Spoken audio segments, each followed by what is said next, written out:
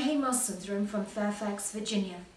I'm here to introduce you to the invited commentary in this month's ASJ that I co-authored with my research coordinator, Vidya Srinivasan. Our commentary relates to the case report of a 33-year-old woman who died from presumed pulmonary embolism after receiving high-volume vaginal injection of fillers. We've analysed what went wrong in this particular case in the context of the broader implications for injectable safety and with the aim of preventing future tragedies like this.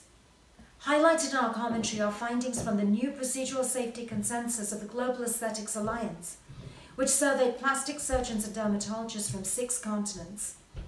A key consideration is that aesthetic conferences and workshops are the primary avenues for education, not only in genital rejuvenation, but on all injectables procedures.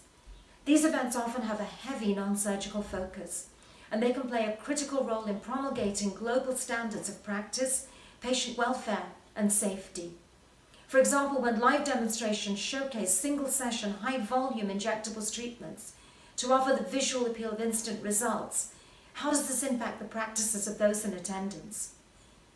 Education on injectables rightly emphasizes recognizing and managing the classical signs of vascular complications. However, should more subtle indicators also be discussed, and how to counsel patients on what is expected versus what merits emergency care. Fragmentation of care is a persistent issue for patients presenting with complications, and we consider the potential solutions offered by today's technologies. Thank you to the ASJ for this opportunity to discuss the multifactorial etiology of many complications. The next steps are to open a dialogue with all stakeholders, practitioners, educators, core specialty societies and industry on how we can place patient protection before all else.